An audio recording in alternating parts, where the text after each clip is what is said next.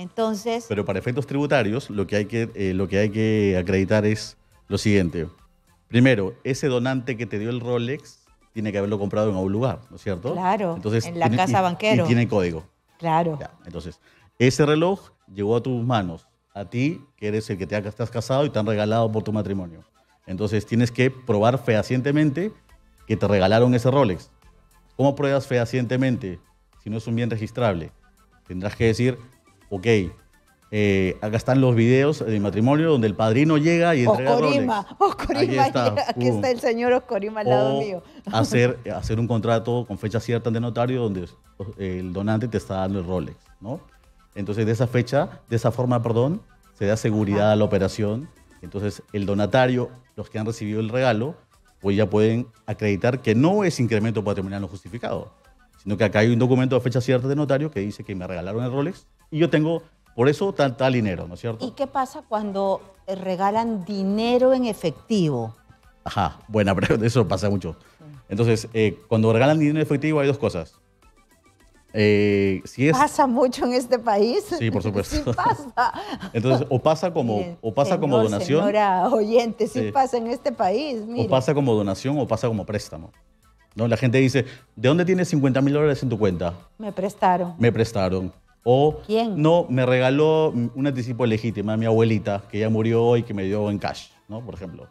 Entonces, eso no es creíble para la administración. Ah, no es creíble. decir eso solamente no, hay que probarlo fehacientemente.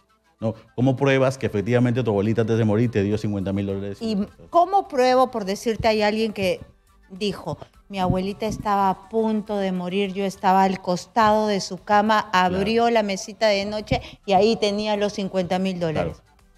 Fehacientemente no puedes probar. Tiene que haber un documento de anticipo legítima o por lo menos una donación ante notario del No, dinero. Pero la, la abuelita ya se murió. Exactamente. ¿Cómo vas a probar?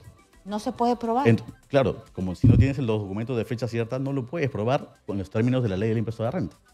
Porque la ley te dice que para donaciones tiene que haber documento de fecha cierta o escritura pública. Escritura pública de donación. Ok, entonces si que quiere eh, recibir algo de la abuelita tiene que ser mucho antes del fatídico Ese, es otro tip para los, los oyentes de Exitosa, que necesariamente, si, si van a recibir, recibir una donación, necesitan una escritura pública o un documento de fecha cierta. Por ejemplo, una alumna hace dos, dos semanas me preguntaba eso, ¿no? Me quiere, mi abuelito me quiere regalar un terreno en Ica. Profesor, ¿qué hago? Haz tu escritura pública. Miren, ¿no es cierto? miren, todo lo que uno se va Entonces, enterando en este país. O que- si tu abuelito lo vende y te da el dinero, haz tu contrato de donación en ante notario. país donde uno cree que la gente no tiene ni para comer, me ha hecho acordar de esos matrimonios Claro. donde se llega, pero con las cabezas de ganado, los Rolex, la plata ahí, pero por montones. ¿Qué es lo que aquí mi productora me insiste y me insiste? A ver, vamos a hacerle que la pregunta, yo no entiendo nada de esto. Las ganancias por Yape y Plin. Acá ya estamos hablando de cuánto, porque yo asumo que esto tiene un límite, ¿no? El Yape y Plin tienen un límite. Sí, de transferencia de 500 soles, entiendo yo. Pero eso no, No. es un tema tributario, eso es un tema ya de la, de la aplicación.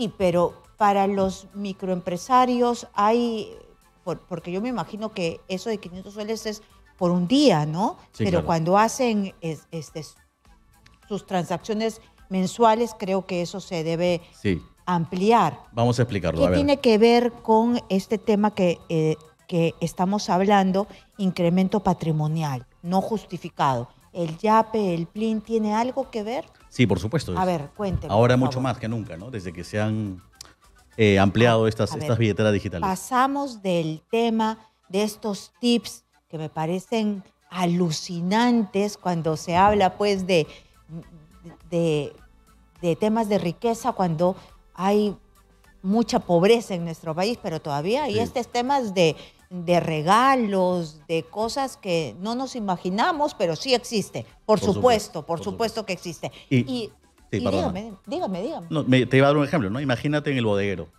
A ver, ¿no? Los bodegueros ahora te aceptan Yape Blin, todos. ¿no es cierto? Todos. Ahora todo. Miren, Por supuesto. yo la vez pasada estaba viendo que no solamente los bodegueros, si- sino que hasta los que venden caramelitos en los, en, en los semáforos que hace mucho tiempo yo ya no veía, pero ahora Ah, mira, eso sí no he visto.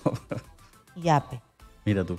Ahora todas las personas que, eh, mozos, prefieren darte tu, su yape propina, personal para la propina, para no pasar por el trámite de que se lo den a fin de mes. Claro, correcto. Sí, sí, Me sí. imagino. Entonces eso pasa mucho, ¿no?